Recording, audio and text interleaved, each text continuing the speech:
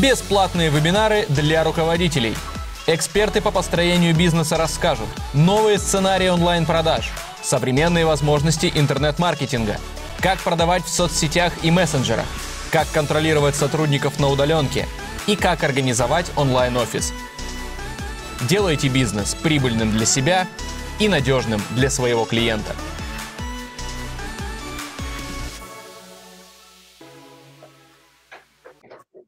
Друзья, день добрый. Приветствую вас теперь официально. Мы делали небольшой тест, а сейчас у нас начало эфира, 11 по Москве. Мы приступаем. Я, во-первых, очень рад, ну, если не видеть личного каждого в лицо, то рад, что вы здесь. Мы открываем вебинар компании 1 из Bittrex. Мы рассказываем регулярно про то, каким образом, ну, будем говорить, прокачивать или улучшать свой бизнес. Смотрим на это с разных точек зрения, с точки зрения маркетинга, с точки зрения продаж, с точки зрения процессов внутренних. И сегодня тема вебинара – это коммуникация. Мы будем говорить про коммуникацию с клиентом, коммуникацию представителя компании, вот мы часто говорим, что продавца и кого-то из клиентов, но на самом деле у продавца, если мы говорим про его роль, сегодня поговорим об этом, он же не только должен продать, иногда успокоить, иногда а, там, психологически поговорить, снять напряжение какое-то, а, поддержать, много-много разных функций. Поэтому, конечно, мы будем говорить про то, как общаться. Сегодня вот такой большой вебинар. Немножечко по орг-моментам. Мы сегодня с вами полтора часа, больше не задержимся точно. За полтора часа мы успеем и обсудить моменты, ну, логические, как я их называю, в первой части мы поговорим, как строить коммуникацию. Во второй части мы поговорим с точки зрения технологий, может ли технология как-то жизнь нам облегчить, ну, спойлер, что может, но посмотрим, как именно в общении с нашим клиентом. Меня зовут Михаил Беляев, я руковожу офисом 1 из Bittrex в Санкт-Петербурге. Мы сегодня перед вами вдвоем уже, но, кстати, сейчас а, я представлю Михаила Москотина. Вы можете пока загадывать желание, это тот вебинар, когда два Михаила в спикерах. Вот. Будем считать, что вы э, слушаете нас, поэтому можете желать, загадывать желание, но одно условие, желание это должно как-то быть связано с коммуникацией с клиентами, поскольку тема у нас вот такая. Итак, про а, деньги э, и про продажи пусть будет желание. Ага, хорошо. Деньги, продажи и коммуникации. Значит, они все связаны, и мы сегодня как раз посмотрим на эти процессы. Значит, еще немножко по регламенту. Будут, скорее всего, вопросы про запись. Запись будет вебинара. Если у вас вдруг что-то случается со светом и звуком, там пропадает картинка или звук, самый простой способ перезагрузиться. Материалы сегодняшнего вебинара мы отдадим на ту же самую почту, для этого специально ничего делать не нужно. Вижу в чатике, что уже загадали все. Значит, про чатик как раз. Чатик нужен нам для вопросов и для общения с вами. Если у вас есть какой-то вопрос, бросайте его в чатик, мы туда будем подсматривать, этот вопрос вытаскивать и постараемся ну, максимальное количество вопросов сегодня взять и об этом поговорить. Что еще с чатиком можно делать? Поскольку вебинар у нас сегодня в том числе будет про технологии, мы будем говорить про Bittrex 24 как систему, которая помогает в общении, то любые вопросы по Bittrex 24, которые вы с собой принесли или которые вдруг возникают, смело в этот чат направляйте. С нами сегодня три компании-эксперта, которые очень круто разбираются в продукте. Компания IT-эксперт, студия Артана и компания InterM. Это коллеги, интеграторы, они помогают бизнесам настраивать себе CRM-системы, Bittrex24 для других задач, поэтому, пожалуйста, коллеги ответят. Так, мне уже говорят, что немножко помедленнее. Сразу, друзья, немножко извинюсь. Вот, помедленнее на вебинарах меня получается плохо, поэтому я постараюсь замедляться. Спасибо большое за комментарий. Значит, отлично. Я сейчас э, представляю вам второго спикера, Михаил Москотин. Это, ну, во-первых, очень классный коммуникатор и приятный в общении человек. Вы сейчас это увидите. И это супер важно, мы об этом отдельно поговорим. Если смотреть с профессиональной точки зрения, то у Михаила потрясающе богатый, насыщенный и большой опыт общения в качестве, а, ну, давайте назовем это а, с целью продаж. Вот, вот таким Продавца. образом. Да, да, мы потом расшифруем. Ну, не только продавец, но вы работали и персонально в продажах, вы и руководили продажами, и вы учите других продавать. Вообще Михаил тренер, и сейчас обучает команды, как выстроить вот такую вот правильную коммуникацию, правильное общение, правильные продажи. А к слову, почему я начал говорить, что очень важная часть, что Михаил классный коммуникатор и позитивный человек, очень и общаться с ним приятно. А, у Михаила висит наверняка какая-нибудь огромная медаль или большой диплом, как а, лучшего тренера по soft skills. И Есть я бы такое. начать хотел вот с чего. Soft skills – это же навыки наши, вот делят на soft и hard skills. И soft skills – это то, что мы а, в общении как раз проявляем больше всего. Как мы умеем слушать, какие мы гибкие, как мы умеем поворачивать, подстроиться под клиента. Вот в коммуникациях полностью задействованы soft skills или вот hard там тоже нужны какие-то знания? Окей. Михаил, спасибо за вопрос, спасибо за представление. Э, я тоже, кстати, быстро говорю как Михаил, но уже пришла просьба, поэтому я сразу замедлился, не успев начать говорить. Я профессиональный продавец, я 30 лет в продажах, то есть первые продажи у меня были в 13 лет, это была моя первая работа. У меня у родителей был бизнес, и это был, был, был торговый бизнес, там, 90-е годы, и я там работал. Я учился в школе и зарабатывал очень хорошие деньги, работая у родителей. Там последние 15 лет я обучаю продавать. Теперь по поводу soft skill и hard skills. Коллеги, Михаил, я маленькую паузу. Коллеги пишут, что не очень хорошо слышно. Вдруг есть наушники? Раз, два, три. Раз, два, три. Две секунды. Сейчас я... Так, если что-то щелкает, то, друзья, это, возможно, у меня. В Петербурге дожди. Вот я, я оттуда. У меня что-то капает по крыше балкона. Я надеюсь, это не сильно пробивается. Я буду периодически глушить микрофон, если вот щелканье такое будет сильно раздражать. Так, плохо видно. Попробуйте немножко обновиться. Так, прощелкал. Так, прощелканье, все окей. Так, смотрите, сейчас у Михаила появится звук немножко другой. Так, видно норм, коллеги пишут, что все окей. Раз, два, три. Так лучше слышно? Раз, два, три. Так, друзья, верните. Мне лучше слышно, а как вам? Ага, ага. Шаги на лестницу. Лучше. Лучше немного. Нет, не от нас. Шаги не от нас, друзья. Если что, дверь не Шаги открывайте. не от нас. И дождя не Нет. слышно. Я Михаила слышу прекрасно, он меня тоже. Но давайте будем пробовать. Если что, буду да. громче говорить. Да, медленнее, но громче. Значит, Миш, отвечаю на... Мы же на «ты», правильно я помню? Да, легко. Да, ага. Э, отвечаю на твой вопрос. Э, есть ряд исследований, которые говорят, что soft skills – это 85% успеха. Hard skills – это только 15% успеха. И есть ряд исследований, которые говорят, что Маскотину совсем плохо слышно. Коллеги, ничего не изменилось. А давайте я попробую звук включить и выключить. Давайте так потестируем.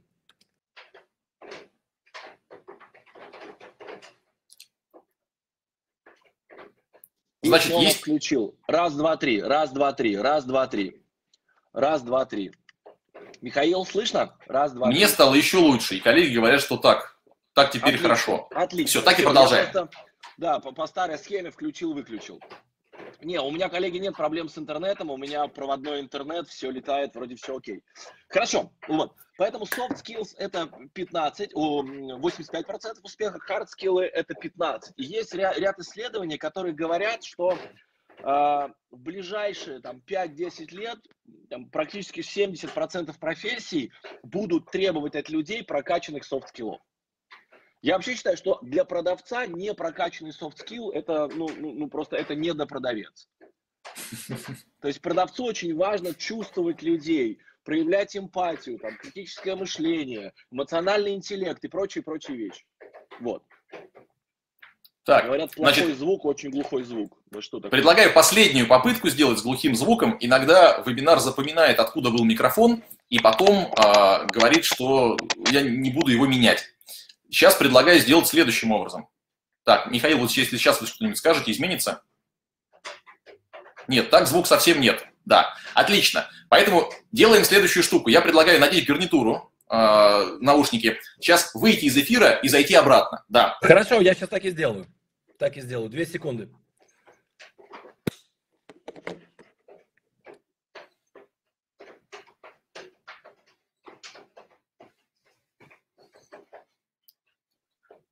Так, звук на самом деле он есть. И тут коллеги пишут, Елена Михайловна пишет, что звука нет сейчас. Звук есть.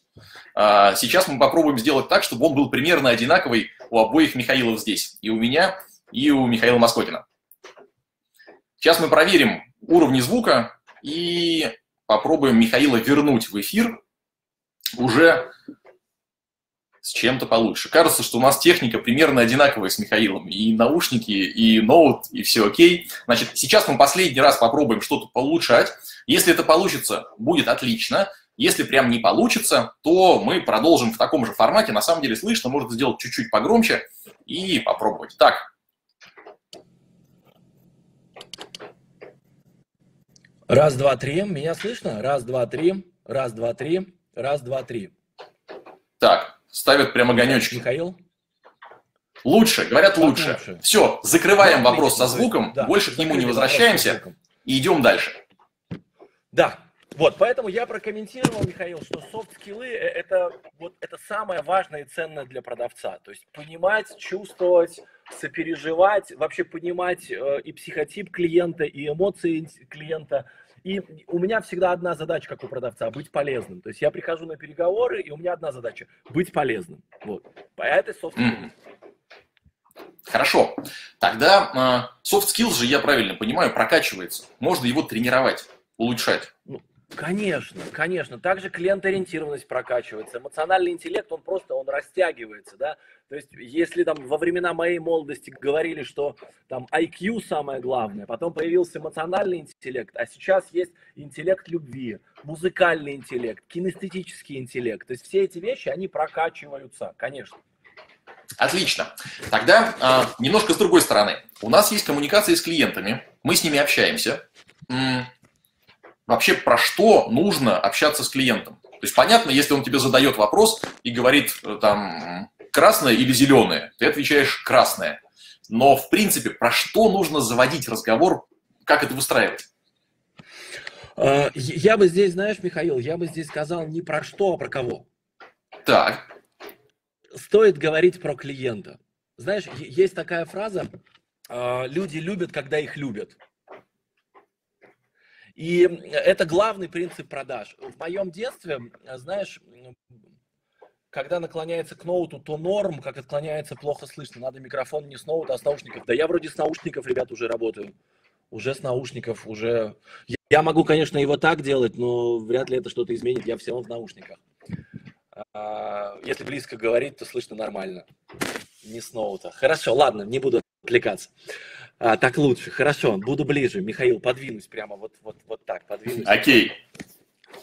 А, где я был, про что я говорил? Про то, что нужно говорить про клиента. Да, да. Про него. Есть, э, может быть, ты помнишь, во времена моего э, детства был такой э, вредные советы, вредные советы. Островский. Да, да, да, да. Если ты на велосипеде мчишься по коридору, а из кухни папа вышел э, что-то погулять, не сворачивайте в кухню, в кухне жесткий холодильник, тормозите прямо в папу, папа мягкий, он простит. И вот да. здесь то же самое. Вредный совет, говорите много о себе. Это вредный совет. Тогда вы точно потеряете клиента.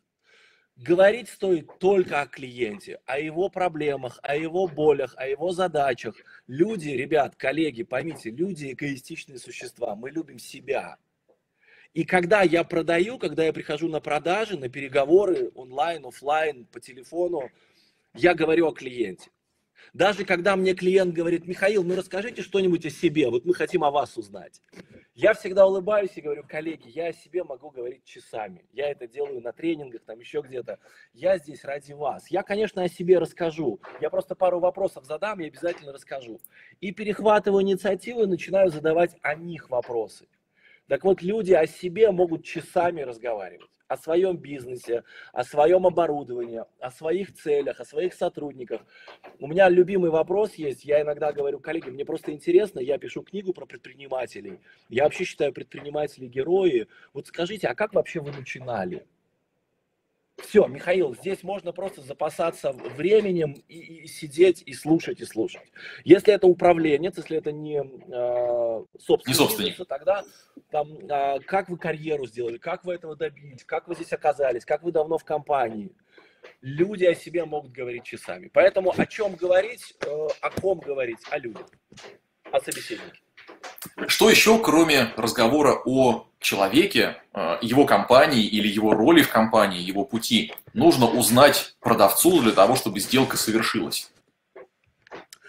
А, есть, опять же, такая фраза, моя любимая, значит, как говорят у нас ВКонтакте, вот, чья-то боль – это чей-то бизнес. Все, что мне нужно, Миша, узнать, э, я, я прихожу к клиенту или звоню, и, и я слушаю его. Вот представляешь, мы с тобой два друга, мы с тобой встретились. Я говорю, Миш, ну как у тебя дела? Как там в Питере? Что происходит? Как погода? И ты начинаешь рассказывать. А я слушаю и думаю, а как я тебя могу поддержать? Как я тебе могу помочь? Как я могу быть тебе полезен? Поэтому э, искать боли клиента в, в любой ситуации. То есть, да, я как профессиональный продавец, перед тем, как идти на переговоры, я готовлю 2-3 сценария, как может пойти процесс переговоров. Но бывает так, что я что-то не учел, и процесс переговоров пошел вообще в другое русло. И я забываю про свои дурацкие сценарии, что, кстати, многие продавцы не делают. Они начинают переть по своему сценарию, хотя клиенту это не надо. И в этот момент они теряют клиента. Я забываю, понимаю, что окей, значит, я что-то не учел, и я опять в моменте, опять его слушаю. То есть чья-то боль – это чей-то бизнес. То есть я ищу боли человека. Вот здесь очень интересно, что если я пришел со своим сценарием, то есть я вроде бы подготовился, молодец, а как мне в моменте понять, что мой сценарий не заводится, не работает? То есть я задаю не те вопросы, спрашиваю что-то не то, рассказываю не то. Как это считать проще с клиентом? Есть признаки какие-то? Сейчас две секунды. Вот мне тут написали, господин Маскотин, Сейчас, Слушайте, это вечная история про звук. На самом деле, а, если говорить конкретно звук, про площадку, а то площадка выбирает, какой микрофон. Пожалуйста. Ага.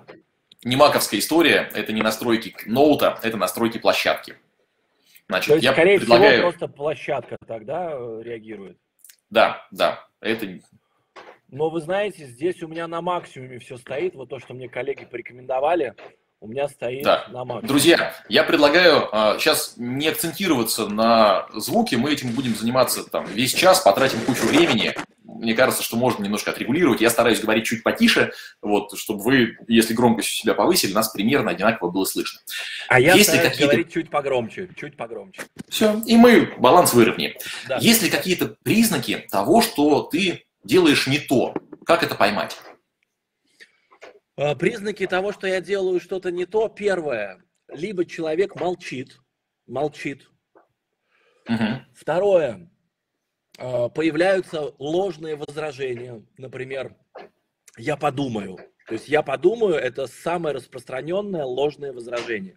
Давайте будем честными, люди думают редко, люди думают мало, и я явно не тот человек, о котором надо думать. Поэтому, когда мне говорят, я подумаю, для меня это сигнал, что я что-то делаю не то. Uh-huh. Я не нашел боль клиента. Я сделал предложение, которое не попало в боль клиента. То есть у меня бывали сделки и бывают, когда я вообще молчу, Михаил. То есть я практически ничего не говорю. Я задаю вопросы, мне рассказывают, я задаю вопросы, мне рассказывают. Потом я делаю предложение, они говорят, куда деньги нести? Все, и даже возражений не появляется. И для меня это сигнал, значит, я нашел правильные вопросы, я услышал боль клиента, я дал ему предложение под эту боль. Вот. Поэтому какой сигнал? Либо он молчит, либо появляется много возражений, которые, в принципе, ну, по факту не должны быть, если я все делаю эффективно. Угу. Мы, наверное, сейчас не будем останавливаться на ложных и настоящих возражениях. Можно про это почитать ну да, это много всякой литературы. Тема отдельного вебинара. Да, то есть возражения – это хорошо, то есть, если они есть, с ними можно работать, это классно. Если вы умеете делить их на ложные и реальные, настоящие, то это даст вам понимание, либо человеку нужно доп. информацию, там, с ним еще поговорить, он не совсем понимает, про что вы, или насколько ценно то, что вы предлагаете, либо человека вы совсем не попадаете, и нужно сменить стратегию там, или тактику на месте. Так, хорошо. А, еще один вопрос, про который хотелось сегодня поговорить. Может быть, вот не на а, реальной встрече, не когда мы лицом к лицу, даже если по видео или вживую, а на чьей стороне должна быть инициатива. Вот у нас есть клиенты. Если это клиенты, скажем, там, новые, более-менее понятно. Мы работаем либо на входящем трафике, либо мы работаем с исходящим каким-то запросом, и мы идем в народ. А, если ну и тут каждая компания, ну не знаю, если может выбирать, то классно. Если у нее есть трафик, здорово. Если исходящий, тоже хорошо.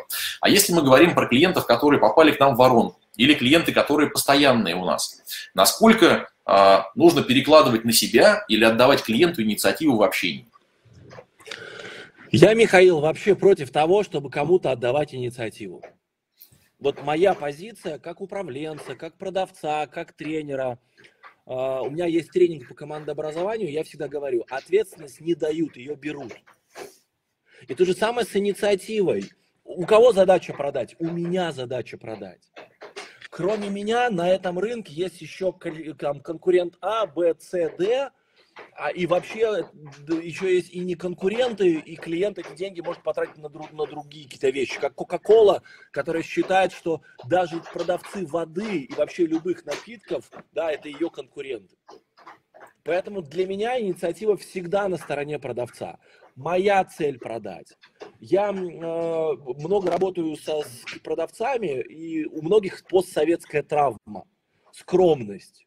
Нам же в детстве что говорили? Скромность украшает, да. Скромность, э, она, люди должны сами узнать о тебе.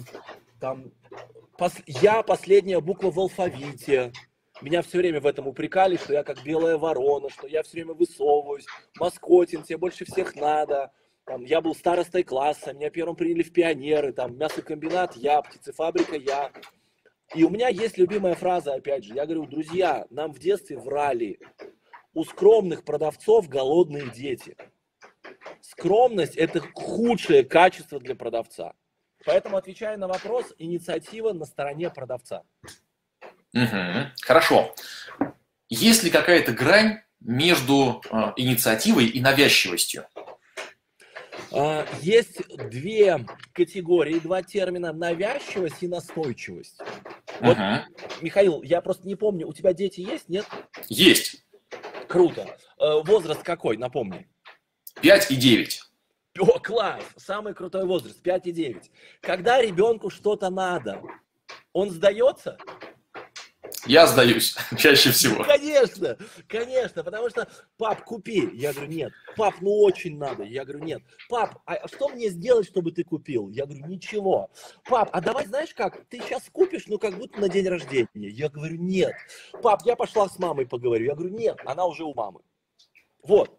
То есть и это, Михаил, это настойчивость.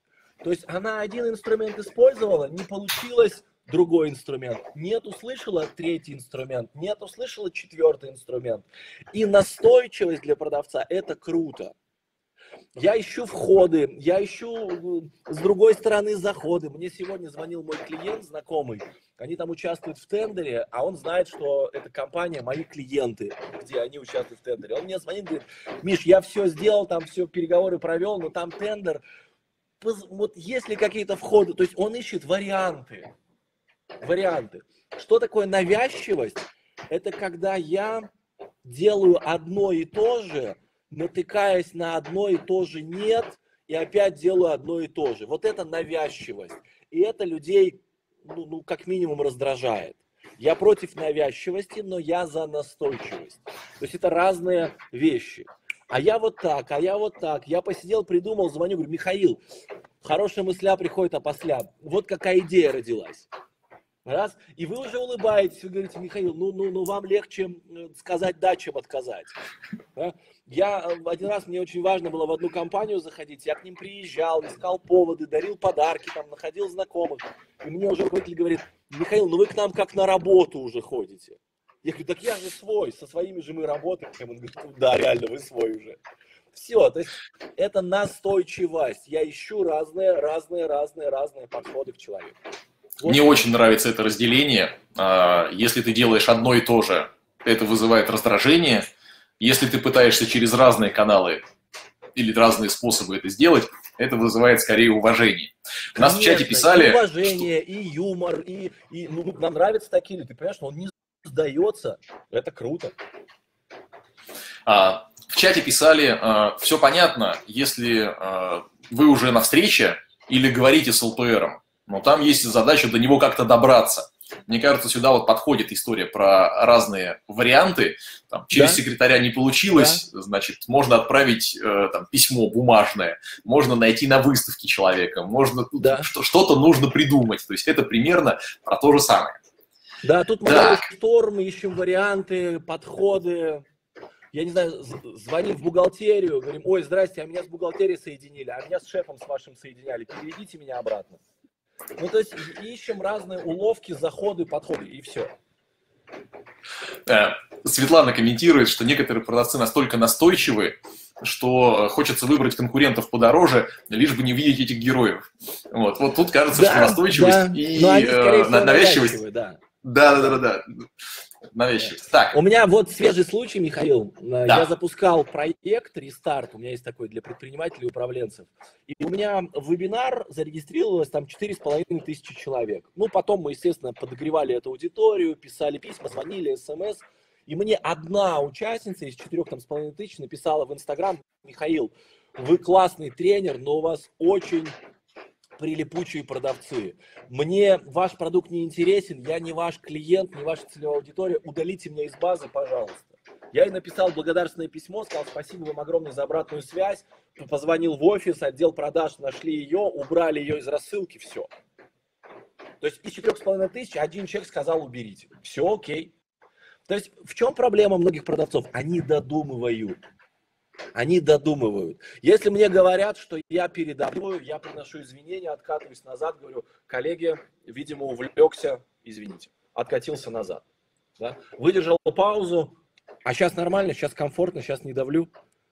Угу. Поэтому вот, вот еще одна интересная мысль, которую тоже в чате нам подтверждает, что есть твои клиенты, есть не твои клиенты. То есть с некоторыми клиентами ты никогда не сойдешься. Вот вы там разные совсем. С этим человеком у тебя не получается. А, вопрос. Если мы хотим эту компанию, этого клиента, но вот мы не сошлись э, с ЛПРом, с человеком, с которым нам нужно договориться, а, что делать? Класс, очень крутой вопрос. Михаил, э, моя позиция как продавца и как предпринимателя такая. У меня есть один тип клиентов, который является не моим клиентом. Это мертвые клиенты. Ну, физически мертвые люди. Вот это не мой клиент. Вот, прости, может быть цинично, может быть грубо, но я вот так к этому отношусь. Пока человек живой, у него есть деньги, он является моим клиентом. Это не он не мой, это я пока к нему не нашел подход.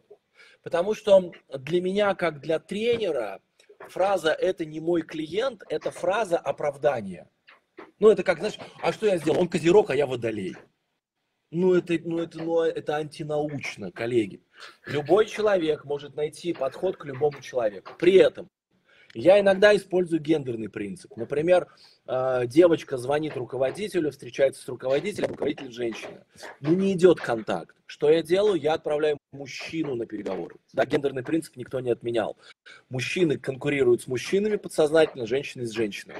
Это первое. Да, я могу поменять половую принадлежность, да, менеджер. Это первое. Второе, я могу признать, мне с женщинами всегда было легче вести переговоры, потому что с женщинами я вообще не конкурирую, я просто с ними френдли, мы дружим, партнерим, я вызываю их, там, нахожу их боли, закрываю сделки. С мужчинами бывало, что мужчины чувствовали во мне конкурента. Что я делаю? Я всегда стараюсь быть чуть поглупее, чуть попроще, то есть сделать так, чтобы его эго торжествовало. Да? То есть я эксперт, но я свою экспертность не выпячиваю, пока ее ну, не попросят э, продемонстрировать, скажем так. Mm-hmm. Например, у меня есть там любимая фраза, я прихожу там к Михаилу на переговоры, говорю, Михаил, вы знаете, я уже 15 лет в, в управлении персоналом, в, в, обучении. Если вам интересно, могу дать пару, пару рекомендаций, как лучше подобрать программу и как лучше подобрать тренера, если вам интересно. Понимаешь, да? В этот момент человек говорит, ну да, да, расскажи, интересно. То есть, что я сказал? Я эксперт, но если у вас есть запрос, я готов быть вам полезным. Все. То есть он здесь. То есть, с одной стороны, я веду переговоры, но с другой стороны, я как будто ему передаю э, инициативу. Но по факту инициатива все равно у меня, давай будем честными. Но я ему говорю, если хотите, клиент, ну, ребят, в стае говорит, да, интересно, расскажите. Окей, все, mm-hmm. я его вовлек, я его заинтересовал. Это знаешь, Миш, есть такая интересная штука. Тебе интересно было бы научиться вообще интриговать людей? Интересно? Завтра расскажу. Да, да приходи завтра, два часа расскажу в эфире в Инстаграм. Все. Вот, вот, вот, вот такие какие-то фишечки. Плюс, например, есть технология диск. Ты наверняка сталкивался, да, технология. Да. Мне она очень близка, я ее использую в управлении людьми, и я также ее использую в продажах. То есть, например, я прихожу к клиенту и понимаю, что передо мной явно стабилизирующий. Ну, я до этого изучил его социальные сети, я увидел его офис, я увидел его кабинет, я увидел, как он выглядит, и он еще даже рот не открыл, но у меня уже есть предположение, стабилизирующий. И для меня я их называю так, чай с чабрецом. То есть с этим клиентом можно от 30 до 90 минут спокойно разговаривать, он тебе баранок принесет, чай с чабрецом заварит, расскажет про детей, про жену, про все, про охоту, про рыбалку. Есть другой клиент, например, доминирующий, я это называю эспрессо внутривенно. Михаил, сколько у нас времени? Я говорю, я уложусь в 10 минут, у вас сколько времени? Он говорит, ну, у меня было 15, но за 10 это даже хорошо. Четко по существу, вопрос-ответ, вопрос-ответ, вопрос-ответ. Я говорю, в принципе, uh-huh. мне картина понятна, предлагаю вот так, вот так, вот так. Вы когда вам удобно, раз, раз, раз. Он говорит, приятно иметь дело с деловым человеком. Я говорю, а мне-то как приятно. Я так люблю людей, которые умеют ценить свое время. Он говорит, все, сработаемся, хорошего дня, секретарю все передал, согласовываются детали, все работает. Все, они просто разные, они просто разные. Есть вовлекающий тип, есть стабилизирующий тип. В чем проблема? В том, что мы идем, знаешь, есть такая фраза, я сегодня, знаешь, цитатами шпарю, не знаю, откуда они вылезают. А, я очень люблю клубнику, но когда иду на рыбалку, копаю червей. Так вот, я считаю, что я могу найти подход к любому человеку, если буду не на себе фокусироваться, а на нем. Это не он, не мой. Это я не понял, какой он, и не нашел к нему подход. А значит, моя задача понять, какой он, и найти к нему подход. Я могу быть разным. Я, например, веду тренинг для айтишников, у меня одна модель ведения тренинга. Я веду тренинг для продавцов, абсолютно другая. Если закрыть лицо, можно подумать, два разных тренера ведут. Понимаешь, да? Да. В переговорах тем более. В переговорах тем более. Кажется, что мы э, начали говорить про инструменты, там, про фишечки, и это отзывается. Может быть, мы чем-то еще поделимся. Вот есть типология диск. Ну, да. типологии-то несколько, на самом деле, они разные. Э, Конечно. Ну, они каким-то образом делят людей. По каналу да. восприятия, по внутренней экспрессии, там, по эмоциональной реакции, почему-то еще. Может быть, что-то еще полезное есть для продавцов вот на встрече, в коммуникации. Ну, я не секрет, что я готовился к этому эфиру, то есть у нас иногда бывает там формат вебинара, когда у меня слайды и там какой-то сценарий. Здесь мы идем вопросы-ответы, причем какие-то вопросы неожиданно для меня появляются, какие-то ожиданные. Uh-huh. Вот, плюс там в чате люди пишут, мы вообще не знали, что такие вопросы будут. Смотрите, я подготовил пять маленьких инструментов, если говорить по инструментам. Первое. Всегда используйте технику «скажи мне да». Скажи мне да. Михаил, хотите тестовый режим сделаем для вас? Да. Понимаешь, да? Михаил, хотите там э, примерить? Михаил, хотите тест-драйв? Михаил, давайте мы вот это сделаем. То есть и человек ленивое существо, и ему проще кивнуть, сказать да. Но, Михаил, при всей простоте данного инструмента и, на мой взгляд, банальности плюс равно эффективности, миллионы продавцов делают обратное. Не хотите тест-драйв? Не хотите на показ съездим, квартиру не надо показать вам? Не пройдете в примерочную? Десерт не желаете? То есть они отговаривают клиента, отговаривают. И человек, если ему говорит, не хотите, он говорит, нет, не хочу. А потом продавец говорит, почему никто не хочет квартиру посмотреть, почему никто не хочет тест-драйв пойти, почему никто не хочет десерт съесть, почему никто не хочет бесплатное тестирование нашей системы. Ну так потому что ты что сказал, то и получил. Вы можете, коллеги, заметить этот инструмент, он очень ярко используется во всех фастфудах. Макдональдс, KFC, Бургер Кинг. Например, когда я с детьми хожу в эти злачные места, я готовлюсь, потому что мы же идем там за гамбургерами колой, да, в рекламе же как, бургер за 39 рублей. Но они на бургерах же не зарабатывают, они же зарабатывают на картошке, на коле и на соусе. Ну это же схема. Вообще 900. Как они это делают? А они говорят, вам колу большую, и ты киваешь. Они говорят, пирожок будете, и ты киваешь. Говорит, соус сырный или э, барбекю? Ты думал, думал, сырный, хотя ты не планировал это брать. Они используют технику «скажи мне да», «скажи мне да». Это я еду в поезде, и, и мальчик идет, знаете, из ресторана. Мороженое не хотите? Мороженое не хотите? Мороженое не хотите? И ему в каждом купе говорит, нет, спасибо, нет, спасибо. И он грустно идет. Обратно идет, обед не желаете, обедать не хотите, а до обеда еще не созрели. Я сжалился над парнем, говорю, ну поменяй ты призыв, ну что ты делаешь, ты ходишь, отговариваешь. Ну, то есть это вот, вот простой инструмент, вот многие его наверняка слышали, но почему-то используют единицы. Да? Окей, вторая вещь, например, э, паузы в продажах смертельны. В паузы в продажах смертельны. Что это значит? Например, а, я клиент, Михаил продавец. А, я говорю, Михаил, скажите, а у вас гарантия есть на вашу там а, Bittrex 24? Гарантию какую-то Я... даете? Михаил? Я замолчал прям. Вот, ну, ну скажите, даете, не даете, что там у вас происходит? Да, вот, пожалуйста, страница, на ней нарисованы условия. Могу рассказать а. подробнее. Нужно? А, вот смотри, что ты сейчас сделал. Ты перехватил инициативу, ты сделал правильно. То есть ты ответил и задал мне вопрос. Нужно? Да? Хотите? Что делают большинство продавцов? Им задают вопрос или возражение, они отвечают и молчат. Любую паузу мозг воспринимает двояко. Либо надо спросить что-то еще, либо спасибо, мне не надо, положил трубку. Или спасибо, до свидания, вышел из переговоров. Поэтому всегда пауза – это опасно. То есть я всегда говорю, один вопрос, один ответ. И тут же встречный. Ну что, протестируем? Ну что сделаем? Ну что, посмотрим? Хотите? Да, ссылочку кинуть? Ага. У вас, кстати, э, э, удобнее Telegram, WhatsApp, на какой номер? Да, продиктуйте ваш номер. Все, я уже инициативу перехватил. Я на один вопрос делаю один ответ. А у нас как получается? Продавец звонит или приходит, и вот полтора часа или там 30 минут песни, танцы. А клиент сидит, говорит, а так сделайте? Он говорит, конечно, сделаем. Он говорит, а так сделайте? Конечно, сделаем.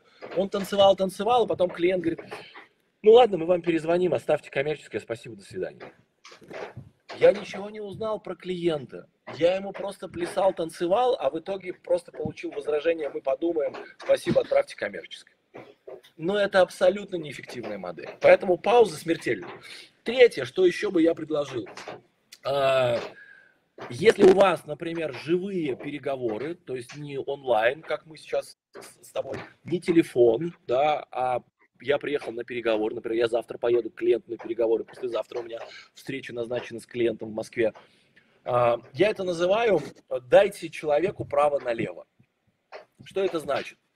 Если бы я, Михаил, там, к тебе пришел на переговоры и был у тебя в переговорке, между двумя стульями слева от тебя и справа от тебя, я бы выбрал стул слева от тебя. То есть моя задача всегда сидеть по левую руку от нового собеседника.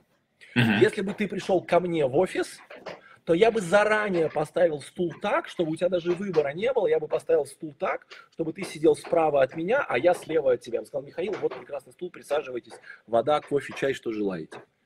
Все. И ты бы даже не подозревал, что специально этот стул так стоит. Для чего это делается? Левая рука у нас в сознании воспринимается как прошлое, правая рука как будущее, и время течет слева направо. Люди не боятся прошлого, то есть, ну, какая бы там страшная ситуация, сложные переговоры или какие-то проблемы. У меня вчера консультация была с клиенткой, у нее там были прокурорские проверки. Да, там кто-то из клиентов написал жалобы, вот ее там просто запроверялись. Я говорю, ну это же в прошлом. Она говорит, да. Я, например, так на консультации выдохнула. То есть все, она уже об этом говорит с юмором, с улыбкой. А если завтра придет прокуратура? Непонятно, что она, будет. Конечно, она напряжена. Так вот, правая рука – это будущее, левая – это прошлое. Поэтому всегда слева от человека. Простая, тоненькая настройка, но да, добавляйте в свой, как говорится, инструментарий продавца. Еще одна вещь, а, например, тест на сделку. Что это такое? Например, Михаил, скажите, а вы можете установить мне там, ваш, вашу CRM в Питере? Можете специалиста в Питер отправить? Да, конечно. Окей. Нужно отправить, есть, да. Что ты сделал? То есть ты мне ответил, а что такое тест на сделку? Я бы сказал так. То есть я правильно понимаю, если мы отправляем нашего специалиста в Питер, вы готовы с нами работать, правильно? То есть ты в этот момент тестируешь мою готовность. Uh-huh. Если я еще не готов, я говорю, не-не, Михаил, об этом еще рано говорить, я пока только пытаюсь понять. Ты говоришь, да, да, конечно. А если я уже готов, ты говоришь, прекрасно, да, конечно, все подписываем. Э, скажите, вы, вы не укладываетесь в наши сроки. То есть я правильно понимаю, если мы соблюдаем сроки, о которых вы говорите, это значит, что вы готовы с нами начинать работать, правильно? То есть я и про сроки сказал, и потестировал. Или там, ну не знаю, не знаю, Михаил, а скидочку сделаете, ну хотя бы процентов 10, ну так, за красивые глаза. У меня сегодня клиентка мне писала, Михаил, сколько стоят ваши услуги? Ну я ей там озвучил сумму, она говорит, а скидку сделаете за красивые глаза? Я ей пишу, то есть я правильно понимаю, если я делаю скидку такую, мы назначаем время консультации, верно? То есть я не просто говорю, да, сделаю. Я говорю, да, я сделаю, и если я делаю, это значит, что мы начинаем работать, правильно? Очень хорошо да, она выдерживает паузу, пишет, да, я готова, предложите свободные окна. Я говорю, отлично, у меня есть там вторник во столько-то, чем четверг во столько-то, а эта неделя уже расписана, а окон нет, да, даже выходные уже заняты. Она говорит, окей, тогда вот такой-то день, такое-то время. Я говорю, отлично, вот, вот счет, да, а- отправляйте предоплату, в календаре стоит в расписании. Все, сделку закрыл, все. Тест на сделку. К сожалению, у нас в стране, Михаил, люди, я тоже это называю постсоветская травма, они стесняются говорить на две темы. Про секс и про деньги. Вот это две темы, на которые людям ну, вот до сих пор неудобно говорить. Причем самое интересное, что люди чаще всего думают на две темы. Про секс и про деньги. Вот это Но про себя. Ну, конечно, конечно. И я всегда говорю, коллеги, если вам нужны деньги, говорите про деньги, спрашивайте, да, тестируйте. Зачем выжидать? Тест на сделку. Ну и пятое, еще одна такая фишечка. Уберите, вот я много слушаю о, звонков клиентов, мне высылают там, кто мне на консалтинг, на обслуживание, там, Михаил, послушайте там мои переговоры. Михаил, а, да-да, слова паразиты, скидочка, покупочка, ага уменьшительно ласкательные. А, Я, например, а, слушаю звонки, я слышу там такие вещи. Наше оборудование не сломается. Мы вас не подведем. Наша система не рухнет. Можете не переживать. Что происходит в голове человека? Мозг человека, к сожалению, не слышит, частицы нет. И происходит следующее. Наше оборудование сломается, мы вас подведем, можете переживать. С нами проблем не будет, проблемы будут. Ваши деньги не пропадут, деньги пропадут. И так далее. И я говорю, меняйте, вот смысл тот же, но в позитивном. Ваши деньги в надежной компании. Можете спать спокойно, будьте в нас уверены. Вы еще нам спасибо скажете. Наше оборудование надежное, на оборудовании есть гарантия. То есть фразы, но в позитивном ключе. Это как один тренер, я э, там где-то был на каком-то форуме, мне так пример понравился. Это как бы не мой пример, просто э, даже не помню, кто из коллег. Он говорит, представьте картинку, мышка не копает ямку. Да, и все засмеялись, потому что в этот момент мы и мышку представили, и ямку представили, да, все. Вот здесь то же самое, то есть частица не, а она исчезает. Лучше в позитиве. Ну вот пять таких коротеньких инструментов, вот ну, заготовка такая домашняя. Вообще круто. Мне кажется, что это несложные инструменты, которые можно прямо взять себе сегодня, вот понаблюдать Да. за, том, за тем, как ты говоришь не или переформулируешь это, Да. как ты отвечаешь на вопрос, Да. э, оставляешь ли ты инициативу на стороне того, кто задает этот вопрос, или перехватываешь себе. Очень классно получается. Кстати, Еще по один момент. Скидочки, Да. По поводу скидочки. э, Это тоже инструмент зеркала. То есть, например, я использую там слово э, скидка, э, там, э, то есть, ну, во взрослой позиции. Если клиент мне говорит, Михаил, а скидочку сделаете, я просто повторяю его фразу. Говорю, конечно, скидочку сделаем. Если говорит, Михаил, а скидку сделайте, я говорю, сделаем скидку, я правильно понимаю, что начинаем работать, да, скидка 10% максимальная, да, с какого числа начнем, что там или что-то еще. Поэтому тоже зеркальте людей. Единственное, что не стоит зеркалить, а, матерные слова. Вот это тоже я всегда на тренингах говорю, что у меня бывают клиенты, он, он не просто матерится, он, он разговаривает на этом языке. Да, такие люди есть, и кто я такой, чтобы их осуждать. Но есть исследования, что люди, которые сами используют ненормативную лексику, очень часто не любят, когда другие используют ненормативную лексику.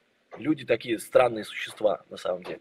Поэтому вот это не стоит зеркалить. А все остальное, тембр голоса, темп, э, там, скорость, да, замедлиться. У меня иногда бывают такие клиенты, но они не то, что, знаете, Михаил, тормоза. Нет. Но они просто медленнее, чем я. Да, и я тоже замедляться начинаю, потому что, ну, ему комфортно. Ну, вот как-то так. Меня очень классно подловили. Я говорю, смотрите, какие несложные Да, инструменты. да, да, я уже увидел, да, да. Спасибо, Сергей, классно. Да, инструменты простые, применять легко. Прямо сегодня делайте. Да, А, да. И они все эффективные и рабочие. Про позицию мы начали говорить. В какой позиции ты находишься относительно своего э, ну, оппонента неправильно, э, своего там, визави. Ты пришел на переговоры. Собеседника, да. Есть над, есть под, есть вровень. Мы немножко говорили, а давайте мы будем чуть-чуть глупее, если человек боится конкуренции. Как выбрать эту позицию, какая выигрышная, и если зависимость в этой ситуации нужно так, в этой ситуации по-другому? Круто, хороший вопрос. Есть три позиции психологические. Есть позиция блаймера, я сверху, я над. Есть позиция компьютера на равных. Мы с тобой взрослые люди, Михаил, ты мне задаешь вопрос, я отвечаю ты мне, я тебе, я тебе вопрос, ты мне ответил, все. Нам не надо друг перед другом доминировать или лебезить, да, мы, мы на равных как партнеры. Mm-hmm. Ты мне пишешь в чате, Михаил, у нас вебинар, готов поучаствовать. Я тебе пишу в такую-то дату, я занят, но есть вот тогда-то. Все, мы с тобой на равных. То же самое с клиентом. И есть третья позиция, плакатор, я снизу. И часто клиент может быть в любой позиции. Я вижу клиентов-блаймеров, которые ну давай, мальчик, расскажи, удиви меня. Я вижу клиентов-плакаторов, которые сомневаются, э, там, надо посоветоваться, надо подумать, что-то еще. Понятно, что самый комфортный для меня клиент-компьютер, когда вот мы на равных разговариваем как партнеры. Моя позиция там, в 99% случаев это позиция компьютера, она самая эффективная.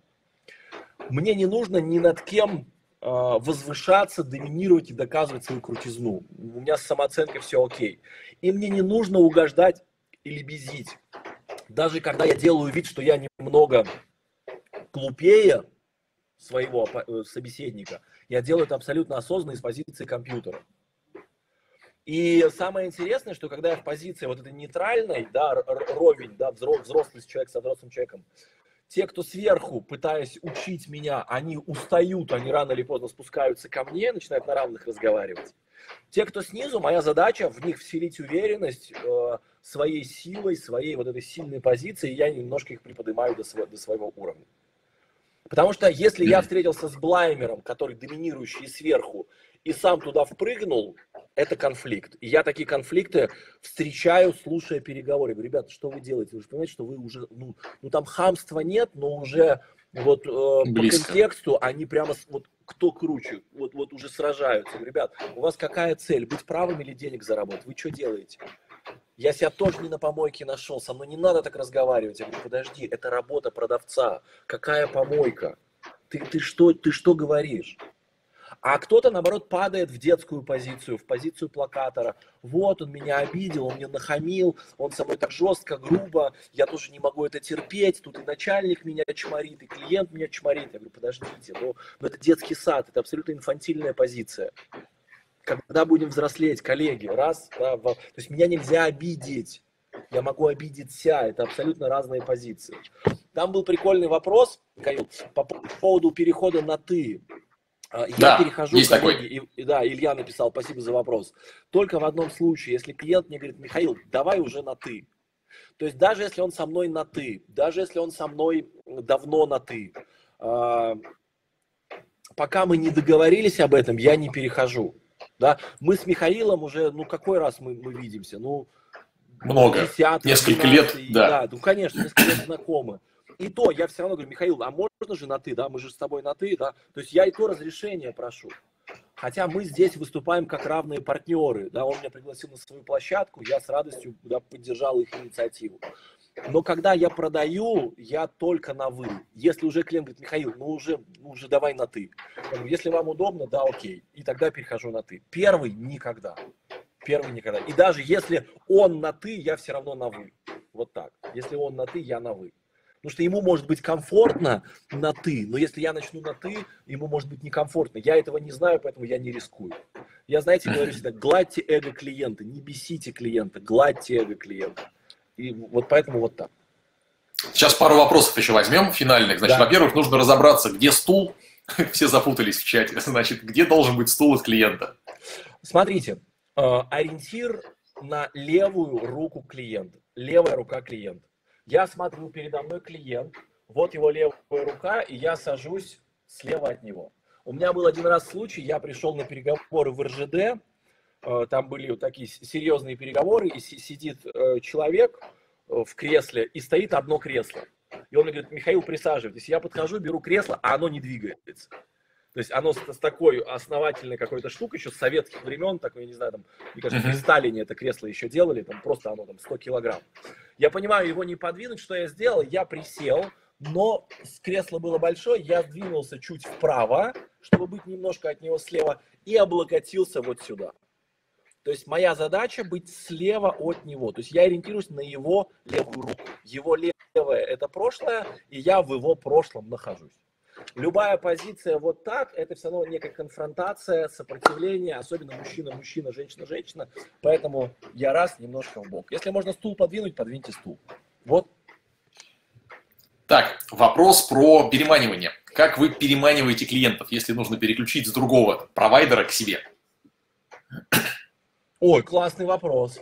Классный вопрос. Mm-hmm. Я э, не смотрю на это как на переманивание, потому что я искренне считаю, что люди умные существа. Люди хотят кушать вкусно и вкуснее, чем вчера. Люди хотят машину лучше, чем вчера. Денег больше, чем вчера. Если даже на автопроизводителей посмотреть, там сегодняшняя Toyota Corolla, она больше, чем там десятилетняя Toyota Camry. То есть они багажник больше, крылья длиннее, салон шире, то есть эго больше, лучше по-другому. Поэтому, если мне нужно сделать так, чтобы клиент выбрал между старым своим поставщиком и мной, мне нужно быть, первое, понять, что я такой же крутой, как его поставщик, а дальше подумать, как сделать так, чтобы мне было круче, то есть я был круче, чем он, и для человека это было очевидно. Смотрите, когда человек принимает решение, у него же есть зона боли и зона удовольствия. Так вот, мне нужно зону удовольствия так приподнять, чтобы вот его, э, его принятие решения, а смена поставщика, то есть любые перемены, это зона боли. Это зона боли. То есть люди инертные существа. Они, с одной стороны, хотят вкусно кушать, хорошо жить, но перемены люди тяжело воспринимают. Мозг, он вообще не про перемены. Мозг человека про стабильность. Он говорит, хозяин, оно тебе надо. Ну вот у Михаила покупаем уже сто лет, ну зачем? А тут какой-то Василий, а тут какая-то Светлана. И вроде выгодно, очевидно, но страх перемен. Поэтому все, что я делаю, я готовлюсь, я изучаю конкурентов, изучаю клиента и ищу вот как раз вот, что я ему могу дать лучше, больше и по-другому. То есть, То есть очень вкусная картинка будущего такая. Конечно, конечно, конечно. Вообще людям нравится будущее покупать, да. Люди, они же про будущее. Нам же мозг закидывает туда. Если там лучше, ну окей, давай пойдем. Да. Мы, мы хотим. А при этом страшно, страшно потерять. Страх потери, он сильнее, чем страх приобрет... удовольствия от приобретения. Вот. То есть впереди должно быть намного лучше, чем в текущей ситуации, однозначно, чтобы решиться. Однозначно, однозначно. Однозначно. Посмотрите, Спрашивают, как работает 12 дедлайн. Стульев, 12 стульев, где Остап Бендер э, с шахматистами общался, да, про Нью Ванюки. Ну вот это вот, вот это гениальный продавец. Он рисовал, и они все как кролики на удаве сидят его слушают. Вот это гениальный продавец. Ему скромность не свойственна. А, как работает дедлайн? Предложение действительно в течение такого-то времени. Решиться нужно до послезавтра. Да. Как? Хорошо, плохо? Стоит использовать? А, ну я понял. Ну, конечно, стоит. Это же это чистой воды, коллеги, психология, потому что, ну, вы же знаете, э, человек такое существо. Кто из вас откладывал когда-нибудь что-нибудь, да? Конечно, ну вот я две руки подниму. У меня один раз, Михаил, было два абонемента в два фитнес-клуба, я ни в один не ходил. Ну, ну, ну, то есть это нормально, мы живые. Идеальный клиент. Конечно, так, на, на таких, как я, и живут фитнес-клубы. Я когда в фитнес-клубах да. провожу и рассказывал этот кейс, они, они смеются, Михаил, побольше бы таких, как вы. Да, деньги заплатил, а сам не пришел. Вот. Поэтому а, дедлайн – это прекрасный инструмент. То есть в этот момент человек понимает, что надо принимать решение, потому что человек не любит принимать решения, человек любит откладывать. Завтра решу завтра об этом подумаю. А ему говорят, завтра в 12.00 карета превращается в тыкву. Мы вас очень любим, но так устроена система. Решайте скорее. Да, сейчас многие даже бонусные программы так устроены. То есть у них бонусы сгорают. Если вы бонусы не используете, они сгорают. И это тоже нормально, потому что ну, цель бизнеса, чтобы клиент пришел, эти бонусы обналичил и что-нибудь еще бы и купил. То есть не только одни бонусы, а чтобы еще денежку оставил. Поэтому а, это нормально с точки зрения бизнеса. Тут еще важный момент, как мы это делаем. То есть, если мы это uh-huh. делаем с любовью, по-партнерски, с уважением, с заботой, написали какую-то теплую смс напоминаем вам, вы нас любимый клиент, пожалуйста, заходите, просто бонусы могут сгореть, будет очень жалко, если вы там, не успеете ими воспользоваться. Все, я понимаю, обо мне заботятся. Да, я где-то понимаю, что, конечно, это бизнес. Они э, хотят, чтобы я к ним пришел. Но приятно же. Ну, приятно же. Ну, эго, эго, гладьте эго. Поэтому вот так, я за дедлайны. Вот финальным вопросом закончу сейчас а, от э, Ильи. Считаете ли вы, что в продажах не нужно врать и лукавить? Используете инструменты или нет? Коллеги, я считаю, что люди умные существа, и я запрещаю своей команде врать. Когда я провожу тренинги для сторонних компаний, а это 99% моего времени, да, я корпоративный тренер, практически все российские банки, сотовые операторы, да, легче перечислить, с кем я не работал, чем с кем я работал. Вот, я им говорю, ребят, а, я не священник, и я не могу вам сказать, что врать это плохо или правильно или неправильно. Я этого не говорю. Но у любого вранья есть последствия. И я против вранья, потому что будут последствия. Это одноразовые продажи. Вы сегодня человека обманули, а завтра он у вас уже не купит. Поэтому я, Михаил, за правду, я за честность. И я вообще всегда говорю, дайте ему больше, чем он ожидает. Вот чтобы он, он, вот это, знаете, у меня есть такой, Миш, пример классный. У меня был приятель, когда я жил в Перми, я сам родом из Перми, и я у него обслуживал все свои машины, там, свои машины, жены машины. Я, например, к нему приезжаю, Сергея его звали. Я говорю, Сереж, машинку надо посмотреть. Он говорит, да, конечно. Там, загнали на подъемник, посмотрели, говорит, ну смотри, здесь работы там ну, часов на 8, там вот это, вот это, там что-то надо сделать. Все, такси вызывай и уезжай. Я говорю, сколько нужно денег? Он там прикинул, говорит, ну там 15 тысяч, ну условные цифры. Ага. Все, я понимаю, что я сегодня до вечера без машины, какие-то дела, там такси, либо там поменял планы, а, либо там с водителем, что-то еще, он мне звонит, там, Михаил, машина готова. Я понимаю, о, он мне пару часов подарил. Я приезжаю, говорю, сколько с меня? 15 тысяч, я там, например, с карты снял, да, там, времена, когда еще там наличка была в ходу, да, сейчас я уже забыл, что такое наличка. Я ему 15 тысяч даю, он говорит, ты знаешь, я обсчитался, 14, тысячу мне обратно возвращает. И потом я... Хитрый какой человек. Он умный, Миш, он умный. И я сажусь в машину, он говорит, ты знаешь, э, у тебя там жена, видимо, где-то парковалась, защиту оторвала, но мои ребята тебе все, все, все там приделали. Я говорю, я тебе что-то должен, говорит, да перестань. Или знаешь, у тебя диски потемнели на машине, я девочек попросил, они полирнули, а она у тебя сейчас как новенькая. И что я в этот момент чувствую? Я чувствую, мне два часа подарили, тысячу подарили и еще дополнительную услугу подарили. А дальше я с друзьями на футболе или в ресторане, или в бане, или на конференции, и кто-то говорит, Миша, а есть какой-то нормальный сервис, машинку обслужить надо? Я говорю, ребят, записывайте телефон, Сергей Соловьев, ну, ну, ну лучше него никто не сделает. Вот, все. Другой пример. В Краснодаре у жены на машине накрылся кондиционер, приехал в сервис по рекомендации, опять же, там в интернете, там, знакомых мало было тогда в Краснодаре. Приехал, я говорю, сколько будете делать? Они говорят, за три дня сделаем. Через три дня я им звоню, выясняю, что они даже к ней еще не приступали. Она просто три дня у них стояла. Я говорю, ребят, вы издеваетесь, я бы мог три дня ездить на машине. Ну, вы понимаете, у нас очередь, у нас это. В итоге насчитали там 15 тысяч рублей. Я говорю, хорошо, приезжаю с карточкой, подхожу в этот, в терминал, там кассир девочка, она мне говорит, там 18 900. Я говорю, подождите, мне сказали 15. Она говорит, ничего не знаю, вот листочки, идите разбирайтесь. Иду к механику, я говорю, подождите, вы сказали 15, а тут 18 900. Он говорит, ну вы знаете, Михаил, вот тут вот вскрылись вот такие моменты, вот такие. И я что, Миш, чувствую? Я чувствую, что меня дважды поимели, дважды обманули. И я никогда к ним не вернусь. И я всем сказал, туда не надо ходить. Там, хотя, может быть, они даже не обманывали, но у меня ощущение, что меня обманули. Поэтому я всегда говорю, лучше с запасом. Скажите, что неделя, а сделайте через 5 дней. Скажите, что там э, 100 тысяч, а в итоге там возьмите 95. И у человека будет ощущение, что ну, ему подарок какой-то сделали. То есть некий такой простой вау-эффект. Вот тут даже не надо креативить. Просто подушку сделайте буфер какой-то. Вот и все. Михаил, вопросы есть, но мы сейчас их не успеем взять. Куда их можно адресовать? Как найти, где? Э, коллеги, я есть на YouTube, YouTube канал Михаил Москвотин. Я есть в Instagram, 16 тысяч подписчиков, буду рад каждому из вас. Я сам веду свои социальные сети, Facebook, ВКонтакте, Instagram и YouTube. Э, сам отвечаю на вопросы, делаю какие-то эфиры, поэтому любые вопросы пишите, с радостью отвечу, либо голосовым сообщением, либо сторис сниму, а иногда делаю эфиры, потому что вопросов накопится, я делаю там прямые эфиры, отвечаю на вопросы. Вот. Ну и плюс, конечно, есть много корпоративных программ, всегда можете узнать, что я делаю, также в социальных сетях. Я все анонсы там выкладываю. Как-то так. Отлично. Михаил, спасибо тебе огромное. Мне кажется, мы дали интересных, классных вещей, которые можно прям попробовать. И, и поговорили здорово. У меня ощущения классные. А я всегда рад, когда ты меня куда-то приглашаешь, э, потому что ну, мне нравится общаться с тобой, у тебя классные люди, которые являются клиентами вашей компании, поэтому буду рад всегда.